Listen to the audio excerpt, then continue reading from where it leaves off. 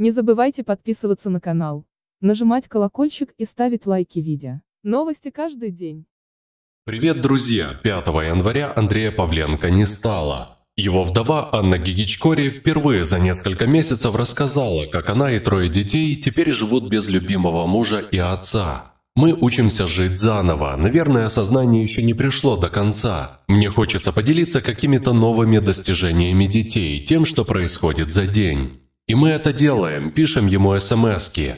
Номер Андрея у нас сохранен, мы не можем его удалить или заблокировать. Дети пишут письма, мы считаем, что папа рядом, незримо. Андрей сказал, что всегда будет с нами, будет нашим ангелом-хранителем. И мы стараемся не подвести нашего папу, говорит вдова Павленко в программе Андрей Малахов «Прямой эфир». Они познакомились в Краснодаре в военном госпитале. Вечером после смены он зашел, помогал мне во всем, объяснял. Через год мы поженились, но скрывали отношения от коллектива. В тот момент мы ни о чем не думали, просто стали жить вместе, вспоминает Анна. Вдова благодарна тем, кто пишет ей в социальных сетях слова поддержки. «У меня нет мечты, но есть цель. Каждый день я стараюсь провести с пользой. И дети мне очень помогают», едва сдерживая слезы, говорит Анна. Андрей, по словам жены, был очень сильным человеком. Когда он сообщил ей, что у него рак, то сразу обозначил, у них есть два года. Супруги, преодолевая боль, готовили детей к тому, что скоро папы не станет.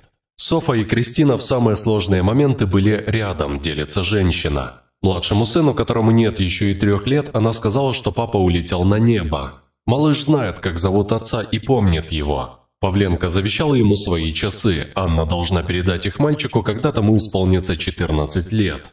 А вместе с ними записку, написанную отцом. Дочкам тоже перешли некоторые вещи из папиного гардероба. Софа пользуется отцовскими духами, также носит его военную форму, отмечает вдова хирурга. К слову, Софа надеется оправдать ожидания отца. Она очень жалеет, что они так мало времени провели вместе. Жизнь разделилась на до и после. 1 января мама с папой обвенчались. Папа тогда уже лежал, не мог ходить, не мог встать. Мама плакала, он ее успокаивал, гладил по голове и говорил, что все прекрасно и хорошо. Я говорила ему, папа, не вздумай умирать, ты еще на выпускном будешь со мной танцевать. Как же жизнь все-таки несправедлива, делится эмоциями девочка. Она предполагала, что муж может уйти в период новогодних праздников и обсуждала с ним этот момент. Он мне говорит, не переживай, без пафоса, без ничего, оформляй на следующий день. Мы сделали так, как он хотел, сами помыли и одели его. Софа держалась молодцом, она вязала папе галстук, потому что я не умею, вспоминает многодетная мама. Анна рассказала, что муж приходил к ней во сне на девятый и сороковой день. «У меня словно какое-то сумасшествие было. Я не ела, не пила, постоянно куда-то бегала, делала дела. Максимально загружала себя. На девятый день, ложась спать, я сказала ему, «Я так устала, Андрюх, можно я к тебе завтра не приду, а десятого приду?» Он мне приснился и сказал, что соскучился. И я, отбросив все дела, пошла на кладбище, делилась вдова. А еще она призналась, что в могиле Андрея оставлено место и для нее. После смерти Анна хочет лежать рядом с любимым человеком. Не знаю, как жизнь повернется, но мне кажется, что замуж я не выйду. «Моя жизнь в детях», — говорит женщина.